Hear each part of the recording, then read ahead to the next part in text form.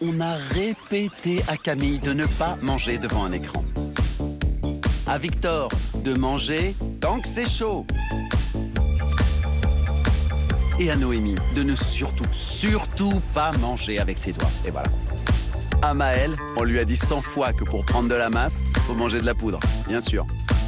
Et à Sana, qu'il ne faut pas mettre ses coudes sur la table. Sana Chloé a lu partout que c'est l'année des burgers 100% légumes. Et Thomas, que le barbecue c'est pour faire cuire de la viande. Et si la liberté, c'était d'être flexitarien Être flexitarien, c'est simplement manger varié avec une viande de qualité, plus responsable et plus durable. Et pour ça, vous pouvez compter sur toute une filière. Aimez la viande, mangez-en mieux.